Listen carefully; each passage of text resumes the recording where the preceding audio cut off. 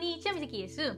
El día les traigo el video de noticias del mes de octubre Japón. Los acontecimientos que se han dado a lo largo de este mes que son de relevancia para el país, porque afectan al país en sí, a los extranjeros que quieren ir a Japón y en general la visión de Japón al mundo. Para que por favor me acompañen en este video porque podrás descubrir información que no conocían y entretenerse un rato. Sin darle más largas a esto, comencemos.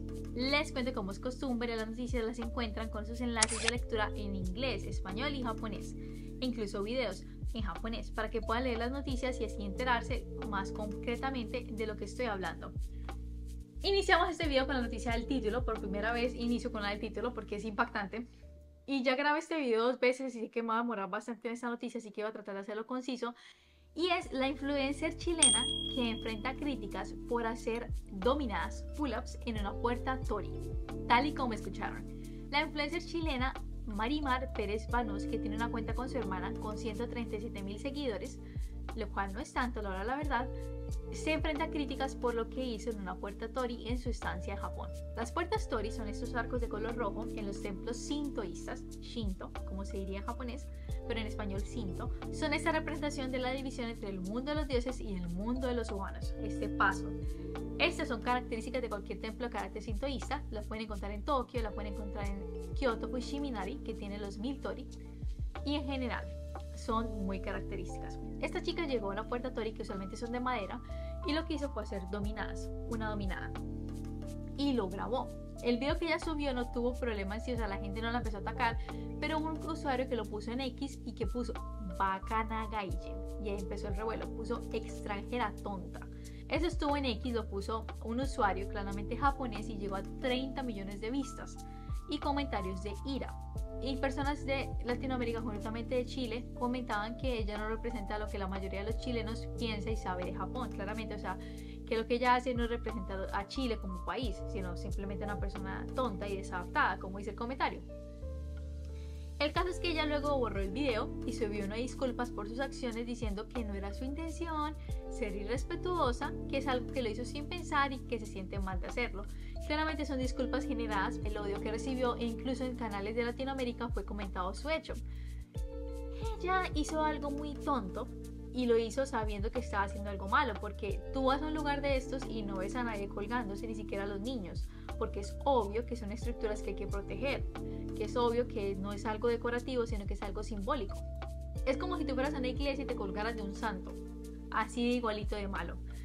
Entonces ella simplemente me puso esto y eso generó un revuelo porque se empieza a hablar de los extranjeros que vienen a Japón a hacer cosas malas, lo cual no es nuevo. Hubo serie de youtubers que han hecho esto, como Logan Paul, ya hace algunos años antes de la pandemia, que hizo su locura en Japón. Johnny Somali, que es reciente, más reciente, que él estuvo en un tren y que empezó a gritar Hiroshima, Nagasaki, lo vamos a volver a hacer. Que entró a una zona de hotel en construcción y fue sacado y llevado a la policía y así sucesivamente. Tenemos en el año 2023 unos youtubers que viajaron en Japón sin pagar un peso, o sea, se inventaron a trenes ilegalmente, pidieron dinero en los buses, fueron a un restaurante a comer un desayuno muy rico, muy caro y se fueron antes de pagar. Hmm. Entonces, eso es lo que nos lleva a hacer a cuestionarnos en la calidad de extranjeros que va a Japón por los bajos precios y en general nos tiene una imagen negativa a nosotros los extranjeros porque nos ven y van a pensar que vamos a hacer algo malo lo cual no es cierto. Si llevamos una cámara es porque quizás somos influencers del lado bueno, como yo, de la cultura, de compartir el Japón bonito, de cosas así, no de compartir el Japón haciendo cosas malas.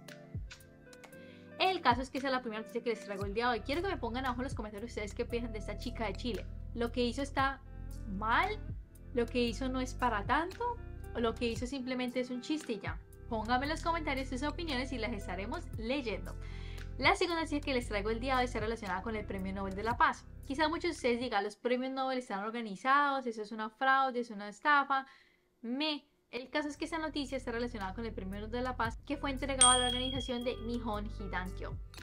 Nihon Hidankyo es la organización concretamente conocida como Nihon Gengsubaku Higaisha Dantai Kyogikai, la organización confederación de los sobrevivientes de la bomba atómica y la bomba de hidrógeno. Fue formada en el año de 1956, que fue el año de la segunda convención contra las bombas atómicas y de hidrógeno, después de que sabemos que en 1945 fue el primer atentado a Hiroshima y Nagasaki Y en el 54 hubo un testeo bomba de hidrógeno que afectó a varios japoneses.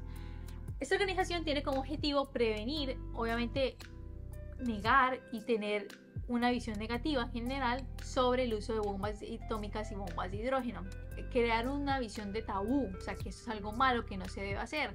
Y a lo largo de los años ha intentado promoverlo. No obstante, la primera vez que gana el Premio Nobel de la Paz. Había sido nominado en el pasado, pero los mismos personas de la organización nunca pensaban que fueran a ganárselo. Pueden leer varias noticias donde hablan los organizadores y dicen que ellos nunca se imaginaron que fueran a ganar el Premio Nobel de la Paz, que dicen que wow, o sea, que fue algo sorpresivo. Y claramente lo que ellos dicen es que fueron elegidos en un momento de tensión porque las armas nucleares están en el punto álgido y las posibilidades de guerras son bastante altas y claramente ellos recalcan de que estas deben de ser abolidas, aunque quizás no se hable de abolir las armas nucleares, sino por lo menos de no usarlas en el término práctico, o sea, en la situación práctica. Ellos nacieron en 1956, como les comentaba, tienen 68 años y el año que viene se van a cumplir 80 años de lo que vendría a ser las bombas atómicas de Hiroshima y Nagasaki. También se dice que hay 107.000 sobrevivientes que están en la edad media de 85 años. O sea, no las personas son jóvenes, obviamente, porque fue 80 años. O sea, personas que cuando pasó la bomba tenían 5 años, 3 años, estaban en la barriga de la mamá, tenían 7, más o máximo, máximo unos 15 años, de pronto 20. Entonces, personas que recuerdan, pero que no fallecieron, hay sobrevivientes y ellos en general junto con los de la bomba de hidrógeno hacen parte de Nihon Hidankyo. Esto se relaciona con un término muy interesante que es el hibakusha.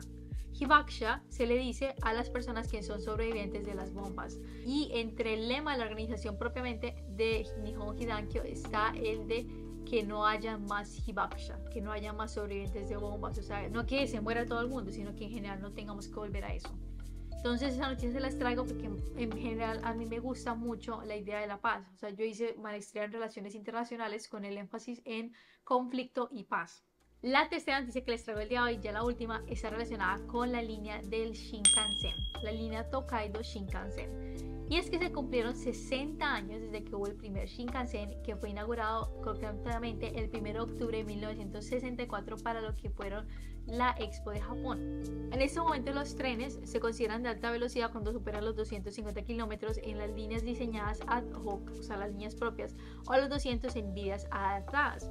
Al inicio solamente los trenes japoneses clasificaban pero ahora hay trenes de otros países y ya el monopolio japonés no es real, o sea, ya hay trenes así en Singapur, en China y demás.